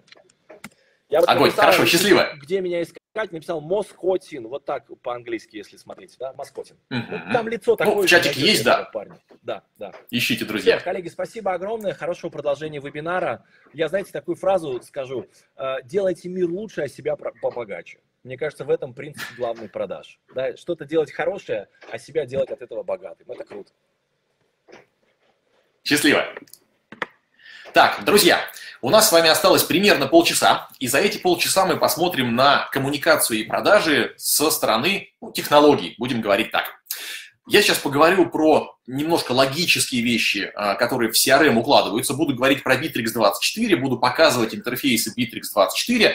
Чатик точно так же работает. Вижу, там уже есть вопросы а, про систему коллеги есть в чатике. Напомню, с нами сегодня коллеги-интеграторы, которые в продукте разбираются хорошо. Если я не увижу или вопрос как более конкретный, на который голосом не ответить, то коллеги осветят и ответ дадут. Так, отлично. Значит, на несколько блоков разделил презентацию. Буду сейчас э, говорить по этим блокам, что мы с клиентами делаем, где мы забираем коммуникацию на себя клиента, где мы потом работаем с, этим, с этой коммуникацией и на инструменты будем перекладывать. Значит, про коммуникацию. Каналов теперь огромное количество. Понятно, что мы уже ушли от системы, когда у нас был входящий номер телефона и корпоративная почта, ну или просто один входящий номер в B2C. Мы понимаем, что мы присутствуем и в социальных сетях, и в мессенджерах нам хотят написать, и все эти каналы нужно бы как-то отрабатывать, обрабатывать и собирать к себе. А, есть один из вариантов, когда мы не используем, например, CRM-систему, мы это делаем ну, в отдельных вкладках браузера или там в телефоне, каждый у себя, Коммуникация это неконтролируемо, и, конечно, бизнесу хочется, чтобы мы, ну, как минимум, посчитали количество всех входящих обращений. Это супер важная задача. Если вы себе такой вопрос задаете, то вот, вот оно понимание. Знаю ли я сейчас, какое количество входящих обращений у меня там в день, в неделю, в месяц.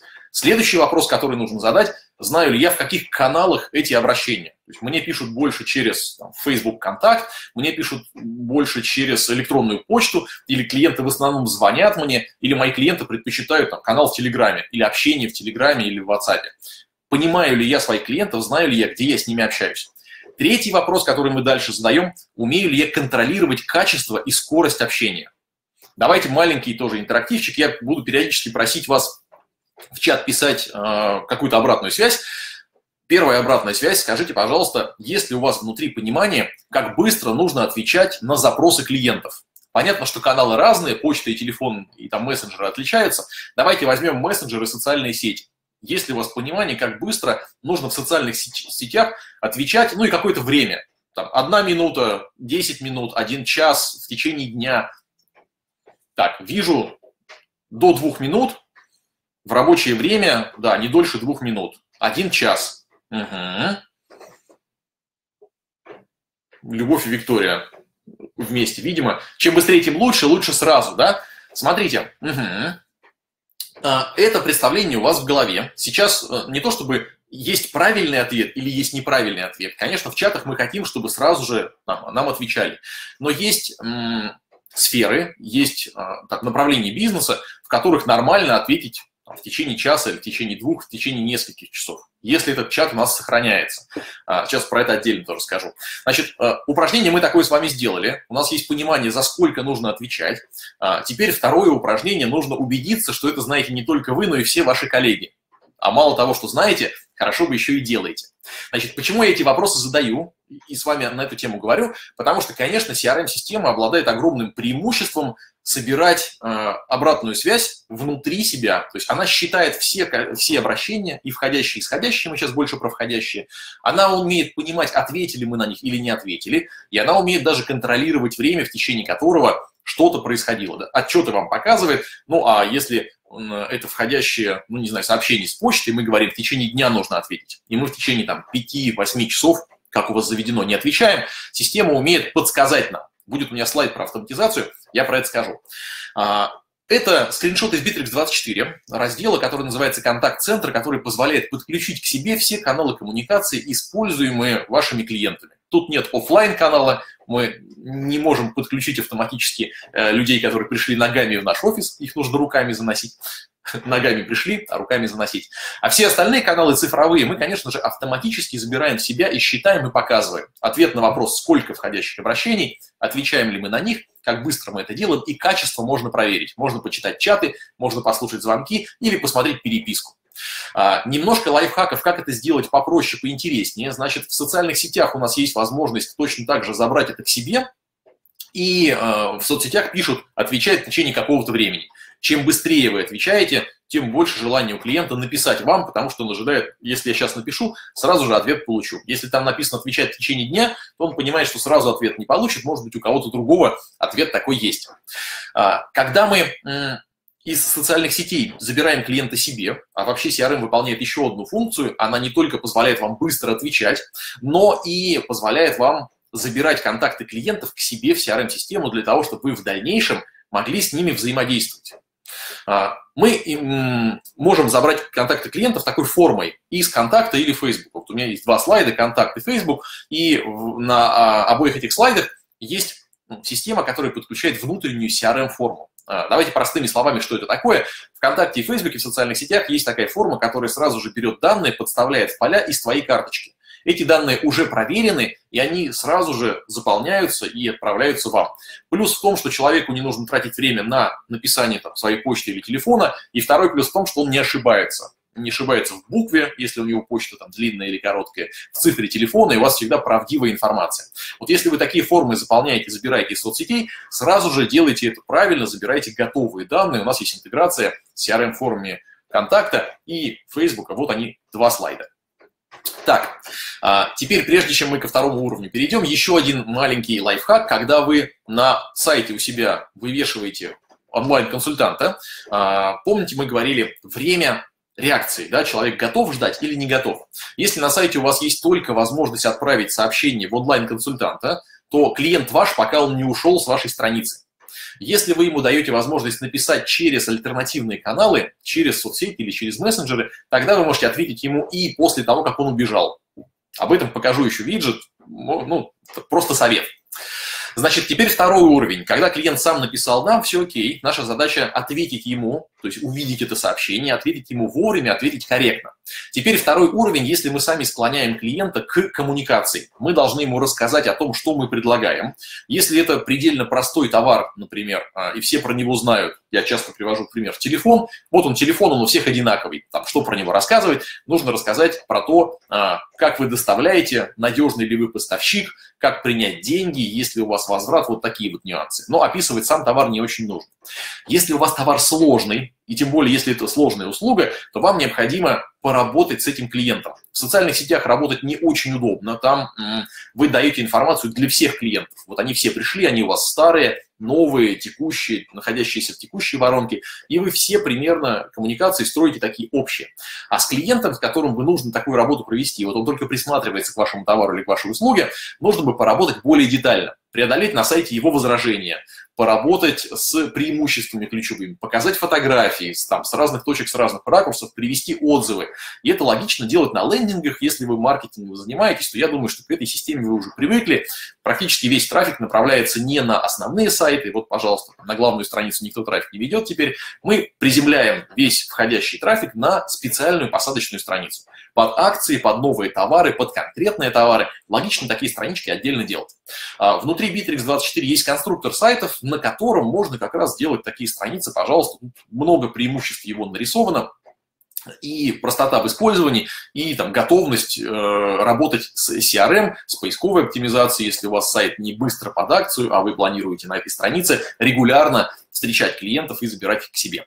Сайты мы такие делаем, и на этот сайт кладем виджет. Вот про это я говорил, смотрите визуально, как это выглядит. Мы э, даем возможность нашему клиенту написать нам через разный канал. Вот если просто там чатик такой, то, пожалуйста, вы э, видите чат в режиме реального времени, если вы ушли со страницы, то ничего нет. А можете написать через там, Facebook, Telegram, Viber, вот здесь, пожалуйста, заполнить форму и выбирайте один из каналов. Соответственно, вы оставляете клиента у себя и можете написать через день, через два, через 15 даже. Второй вопрос, вспомнит ли он вас через 15 дней, но контакт клиента у вас в CRM-системе уже будет. Очень важный дисклеймер такой. Помним, пожалуйста, что обработка э, контактов клиентов – это обработка персональных данных. По идее, у вас внутри должен быть регламент, как вы это делаете. Вы должны быть по-хорошему зарегистрированы как оператор персональных данных, ну и обрабатывать их в соответствии с внутренними требованиями своего регламента, как это организовано. Но помните про это всегда. Не передавать данные никуда и брать у клиентов согласие. А, Важно очень сохранить клиента. Я про это сегодня уже говорил. Мы сохраняем контакты клиентов для чего? Для того, чтобы потом с ними работать, иметь возможность, раз мы уже заплатили за этого клиента, общаться с ним дальше еще. Мы формируем базу из всех входящих обращений, можем загружать туда там Excel-файлы, можем э, там, импорт какой-то делать из текущих баз, но тем не менее, постоянно мы нарабатываем базу клиентов, которые у нас остается. Не все из них купили, но все из них с нами общались. И мы впоследствии, это наши потенциальные клиенты, хотели бы с ними взаимодействовать. База – это хорошо, но мы еще смотрим на шаг или на два шага вперед и говорим, с этой базой нам как-то нужно будет общаться по каким-то поводам. Соответственно, давайте посмотрим, как мы поделим эту базу и как нам нужно будет делить. То есть мы сейчас прикидываем а, мы эту, эту базу можем поделить по нескольким ну, критериям, давайте признакам будем говорить. Если нам важно, мы делаем признак отрасли сразу же, когда клиент попадает к нам. Вот отрасль мы сделали, хорошо. В следующий раз мы можем выбрать всех клиентов из там, строительства, ритейла, э, там, детской одежды или еще из какого-то сегмента. Это круто. Что нам еще нужно? Нужен ли нам оборот компании, например? Иногда критично, чтобы компания стала нашим клиентом только если она в определенном диапазоне оборота. Тогда мы записываем оборот. Можем делать это руками, спрашивать у клиента, задавать ему такой вопрос, либо автоматически подтягивать эту информацию из открытых источников, из каких-то баз данных. А, важно ли нам понимать, какого пола а, человек, контакт у нас в базе? Мужчина это или женщина. Если от этого зависит какие-то рассылки мы, например, будем делать под гендерные праздники, тогда нам это важно. Если не зависит коммуникация, то не критично, мы можем даже пол не фиксировать у себя. Ну и, соответственно, там другие признаки, по которым мы потом аудиторию можем делить. У меня для примера, там, есть ли у вас там, домашние животные, дети, автомобиль, то, что будет влиять на сегменты, которые вы дальше будете выбирать. Соответственно, все действия клиента мы точно так же фиксируем. То есть мало того, что мы сохранили его как контакт, мы по нему всю историю коммуникации в CRM, конечно же, тоже храним. Для чего она нам нужна? Тоже для сегментации. Мы можем построить сегмент базы и говорим, все, кто купил у нас а, наши услуги в последние там, 4 месяца, три месяца, два месяца. Пожалуйста, мы выбрали все эти э, контакты и сделали по ним, например, рассылку, сказали, друзья, вы у нас покупали последние три месяца, у нас для вас есть специальное какое-то предложение. Пожалуйста, такое предложение можем отдать. То есть это еще один критерий, по которому мы делим. Вот они, сегменты клиентов. Как мы их строим? Я постарался разбить на три большие категории. Мы про них немножко уже поговорили. Первая категория – это признаки, пол, там, город, отрасль, наличие детей, машины или домашних животных, вот в этих категориях. Второе – это история, история покупок, история наших взаимодействий. И третье – это канал. Мы, когда планируем собирать базу клиентов, мы говорим, давайте мы будем точно понимать, какие данные клиента нам нужны, то есть как мы с ними будем общаться дальше по телефону, по электронной почте. Нам нужно собрать контакты в мессенджере. От этого зависит, какие данные мы будем собирать в форме. То есть оставьте номер телефона. Это обязательное поле, остальные пожелания. Или основной наш канал – это почтовый. Мы говорим авторизации по электронной почте. Мы знаем почту, остальное вторично. Это ведущий канал. Конечно, нам, как владельцам бизнеса или маркетологам, хочется, чтобы мы максимальное количество каналов сделали, но мы понимаем, что каждое новое обязательное поле, или вообще каждое новое поле, конверсию сокращает, поэтому выбираем для себя там один один или максимум два ведущих канала. Теперь, как мы сегментируем аудиторию, внутри Bittrex24 есть отдельный пункт, называется он CRM-маркетинг. И мы в этом пункте можем выбирать, делать такие срезы э, сегменты аудитории. Есть динамические, есть статические сегменты. Динамика – то, что изменяется. Например, мы совершили покупку за последний период времени. Каждый раз такой сегмент будет отличаться друг от друга. Есть статический сегмент. Мы выбираем всех, кто принадлежит к строительной отрасли. Вот она статика, отрасль компании редко меняется, ну, совсем редко меняется. Поэтому он неизменный, называется статический. Мы их можем пересекать между собой. Выбрать все строительные компании, которые сделали у нас заказ за последние три месяца. Так тоже можно. Система покажет вам, сколько таких компаний у вас внутри есть. И она покажет, у этих компаний есть электронная почта там, в 80 случаях, мобильный телефон или номер телефона в 100 случаях и мессенджеры в двух случаях, например. Ну или какое-то другое соотношение. Так вы понимаете, сколько и в каком канале у вас находится аудитории. А, есть готовые сегменты внутри, можно их посмотреть будет у себя внутри Bittrex24. Они предустановлены. Если они вам подходят, отлично. Если вы хотите какой-то свой, то вы его формируете и сохраняете как типовой сегмент. Потом не нужно будет заново набирать все эти признаки, все поля. Вы просто говорите, вот из этого сегмента, пожалуйста, сформируй аудиторию, и система показывает, сколько там в этой аудитории людей тоже немножко уже поговорили, да, по динамике. Клиенты, которые покупали в этом месяце, в прошлом месяце, э, пожалуйста, такие сегменты можно строить.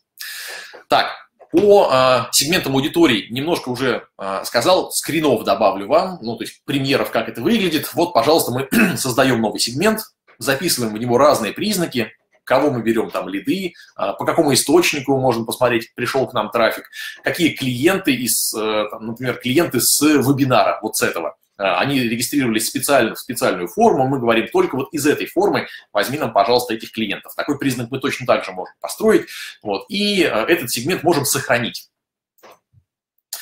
Как мы с этим сегментом потом работаем? Мы взяли сегмент, и мы идем к нему каким-то из каналов взаимодействия, которые мы заранее, скорее всего, спрогнозировали и выбрали. Электронная почта, смс-рассылка, звонки или мессенджер или еще как-нибудь. Еще одна маленькая рекомендация, которая есть, это а, сегментация по результату сделки. Мы ведем с клиентом сделку, в 10, а, например, процентах случаев она заказывается успешно, закрывается, а в 90 процентах случаев неуспешно. И у нас есть одна успешная стадия, все отлично, все здорово, и много неуспешных. Почему неуспешных больше? Потому что мы проиграли сделку по какой-то причине. Причина разная. А, клиент отказался от наших услуг, потому что выбрал конкурента. Это понятная причина, мы ее зафиксировали. Клиент отказался, потому что ему супер дорого. Мы не в ценовом диапазоне клиента. Он отказался, потому что не стал переходить с предыдущего провайдера. Вот как мы разбирали историю. Мы хотели переключить, но не смогли переключить. И там дальше вот вы набираете типовые признаки, почему неуспешная сделка у вас есть. Что с этими признаками можно делать? Ну, с точки зрения руководителя отдела продаж, пойти и посмотреть, послушать записи разговоров, почему так закончилось все неуспешно. Там обычно кладезь а, такой точка роста для менеджеров, как нужно обрабатывать возражения, почему дорого, почему мы, какие наши конкурентные преимущества. Слушаешь оттуда звонки, и сразу же куча идей появляется. А второе, что нам интересно, мы можем взять этот сегмент и скажем, возьми, пожалуйста, всех, у кого сделка проиграна, потому что э, клиент выбрал конкурента, и давай мы к нему придем через там, 3-4 месяца, и скажем, вы сотрудничали с другой компанией, а, давайте посмотрим, может быть, мы с вами еще что-то можем делать. У вас уже какая-то картина сложилась, там хорошо вам с ними или плохо, и мы можем либо заменить их, если вам не очень, либо предложить параллельную услугу. У нас есть еще вот такое, с нами тоже попробуйте, наверняка вам понравится. Или какой-то другой сценарий. То есть в зависимости от того, как закончилась сделка, по какой причине она неуспешно завершилась, мы можем дальше работать с этими клиентами. Мы крест не ставим, то есть мы, сделка проиграна, но клиент потенциально все равно наш. CRM-маркетинг, а, если смотреть в, ну даже не давать определение, не смотреть в классические определения, а давать определение, это активная коммуникация с клиентом, потому что мы инициаторы такой коммуникации, на основе данных, которые у нас есть про них. Поэтому CRM-маркетинг, просто маркетинг. Мы говорим, а, мы находим всех, у кого а, есть домашние животные вот в Петербурге, и такие признаки в соцсети, например, ставим, и на такую аудиторию даем рекламу. А CRM-маркетинг, мы знаем про свою аудиторию что-то сами, и на основании этих данных взаимодействия с нами такую коммуникацию с ними строим. Про каналы коммуникации говорили уже, пожалуйста, мы отправляем письмо, это встроенный инструмент внутри Bittrex24. СМС мы подключаем провайдеры и тоже можем отправить смс -ку. Можем запускать даже голосовые обзвоны. В некоторых сферах бизнеса это нормальный рабочий инструмент, но давайте так, даже не сферы, а в некоторых кейсах. Например, а, вам нужно сообщить, что посылка прибыла в а, пункт назначения. Это можно сделать смс-кой можно теоретически сделать голосом. СМС-кой даже удобнее. А вот для того, чтобы напомнить, что вы хотели на конференцию прийти или на вебинар прийти, может быть, в вашем случае удобнее отправить будет голосовое сообщение. Оно будет персонализированное. Я сам наговорил, приветствую, завтра мой вебинар, я буду про это рассказывать, эмоциональной составляющей больше, хоть это и запись моя. Голосовой обзвон, да, есть, доступен, возможен, пожалуйста, можно им пользоваться. Можно запускать рекламу в социальные сети по той же самой аудитории. Можно таргетировать и добавлять куски вашей аудитории в а, аудитории Инстаграма там, или Фейсбука, например, и таргетировать рекламу и на них. Пожалуйста, это разные каналы, но ключевая история в том, что вы выбираете сегмент вашей базы и целитесь в него каким-нибудь предложением. Это тоже коммуникация. Еще один огромный блок – это коммуникации, направленные на повторные продажи. Я здесь разбил немножко по категориям. Что такое повторные продажи? Во-первых, это регулярные сделки. Если ваш товар или услуга продается ну, с какой-то периодичностью, вы э, каждый месяц или каждый год продляете действие страхового полиса, подписки или ваших услуг, контракта, пожалуйста, нужно не забыть сделать это чтобы клиент не перешел к какому-то другому провайдеру, другому поставщику. Автоматически система, CRM-система напоминает вам через, например, 11 месяцев, если вы ее об этом попросили, напомни через 11 месяцев, что мне нужно будет клиенту прийти и продлить такой контракт. Пожалуйста. Есть история с кросс-продажами. Что такое кросс-продажа? Вы продаете соседний продукт или соседнюю услугу. Вы продали ну, кондиционер, и через год приходите и говорите, друзья, а, этот кондиционер нужно обслужить пожалуйста, мы к вам приедем, вот как механика выглядит, почему нужно обслуживать, как это помогает вам, вашему здоровью. Вот. А, кросс-продажа может быть совершенно любая, то есть у вас в номенклатуре наверняка есть, если нет, пожалуйста, подумайте об этом, а, соседний товар или соседняя услуга, который тому же самому клиенту понадобится через там, день, через месяц, через год или параллельно. Люди, которые любят гаджеты, покупают не только там электросамокаты, но и там пауэрбэнки и что-то там еще. Они любят какие-то устройства, например. Пожалуйста, к ним можно прийти и совершить такую кросс-продажу. Еще одна категория, мы про нее опять же поговорили, это вторая попытка большая часть сделок у вас в воронке закончилась неуспешно, скорее всего. Поэтому э, можно ли делать вторую попытку? Нужно. Вы эту аудиторию уже привлекли, уже заплатили за этих клиентов, они у вас в базе, они потенциально ваши клиенты, вы их даже проверили, то есть начали с ними общение, э, и они могли купить услугу, товар, но не купили, но могут купить дальше. Поэтому, конечно, вы возрождаете и совершаете либо вторую, либо первую продажу, а, если первый раз не получилось.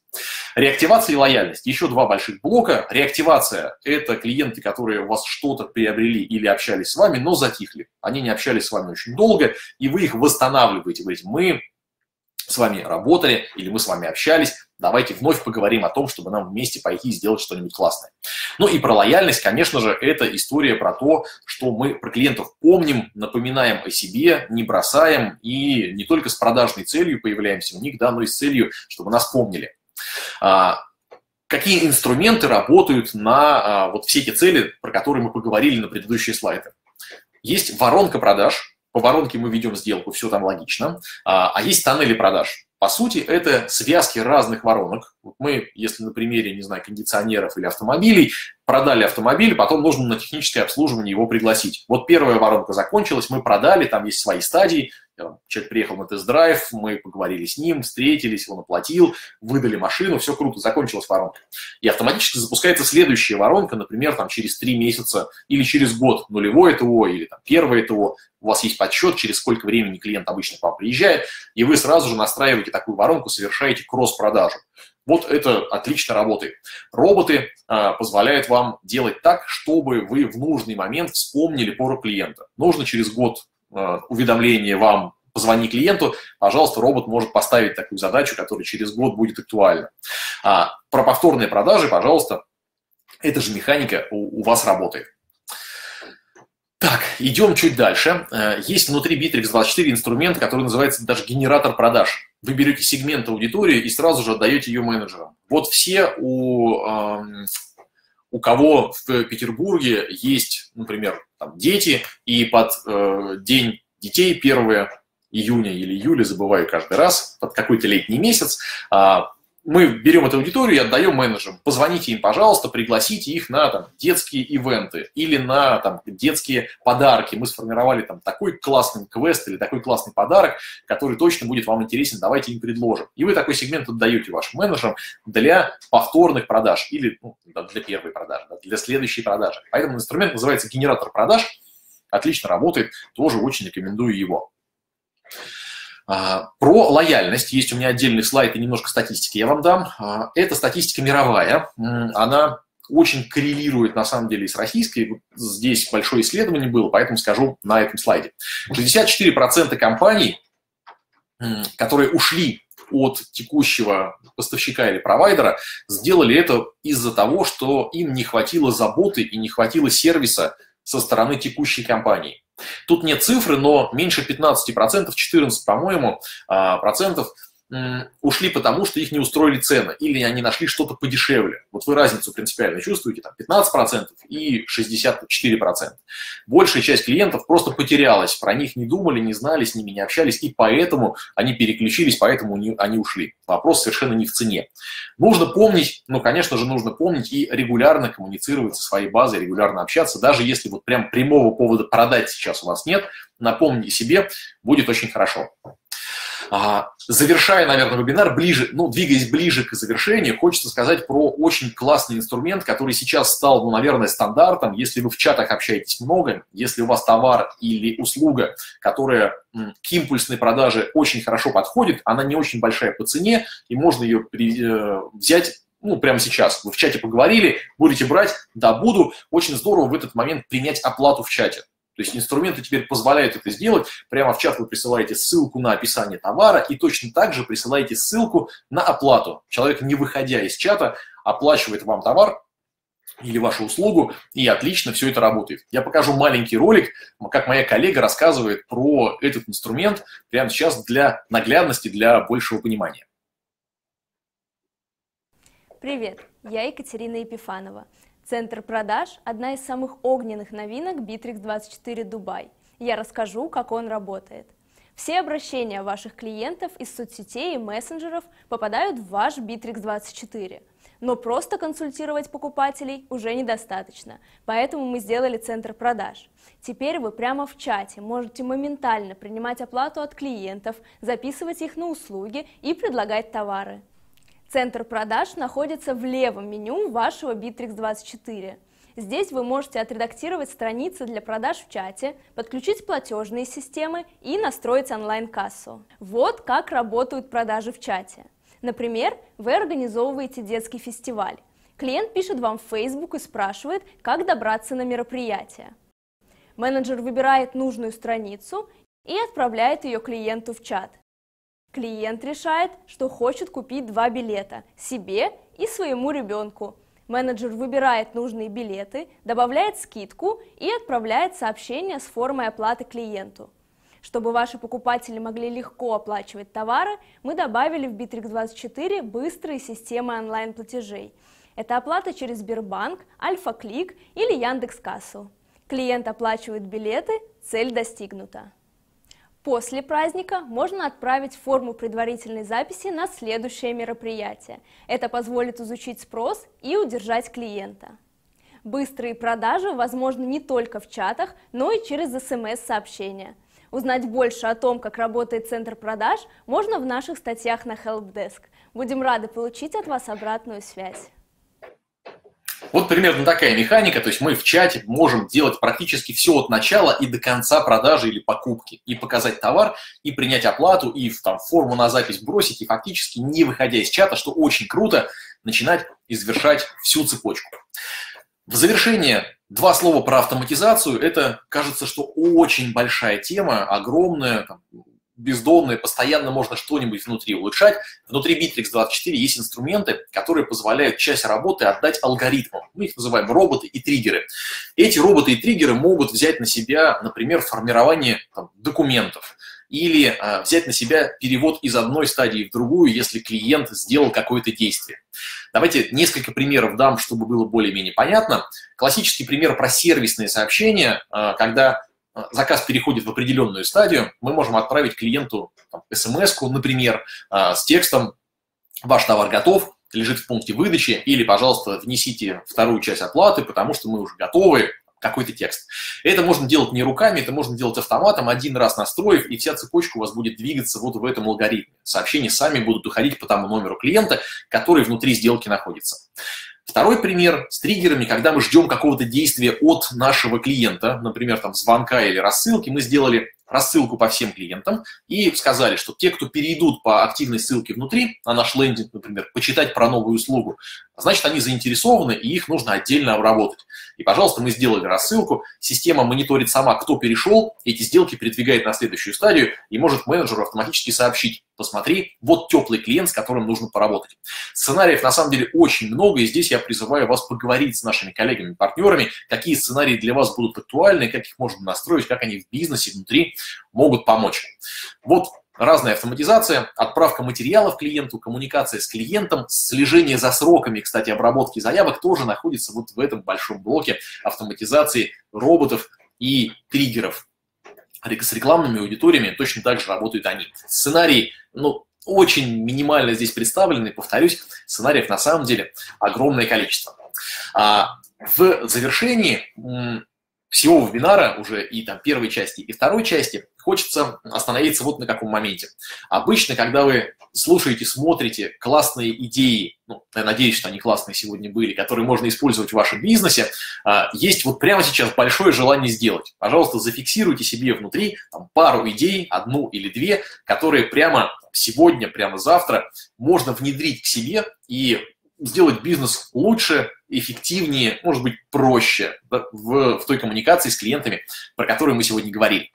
А, напомню, что у нас в чате были вопросы, мы на все не ответили, надеюсь, что на большую часть э, отвечали. А, и у нас в чате работали сегодня наши коллеги, которые подсказывали вам, как внутри Bittrex24 можно сделать одно, второе, третье или четвертое. Коллеги вернутся к вам через некоторое время, спросят у вас, как вам вебинар, эта информация, которая на нем была, и спросят вас, насколько Bittrex24 может в текущем режиме помочь вашему бизнесу. Если у вас есть уже сложился сценарий готовый, это здорово, прямо рассказывайте коллегам, что вот смотрите, такая идея у меня есть, может или нельзя сделать. Если сценария нет, то можно прямо в телефонном разговоре об этом поговорить. Смотрите, чем занимается мой бизнес, какие основные процессы у него есть, и скажите мне, может ли Bittrex24 сделать мою жизнь там проще, легче, эффективнее. И коллеги в ответ, конечно, подскажут сценарий, который может так сделать, ну или скажут честно, что нет в вашем кейсе, это не тот, во что я не верю, но, допустим, такое может произойти. Спасибо большое, друзья, за информацию. Напомню, что запись вебинара у нас велась, мы ее отправим на электронную почту, специально ничего делать не нужно. Презентацию, которую я сегодня показывал, мы тоже отправим на электронную почту для того, чтобы вы ее спокойно могли посмотреть. Всем огромное спасибо за участие и удачи, друзья!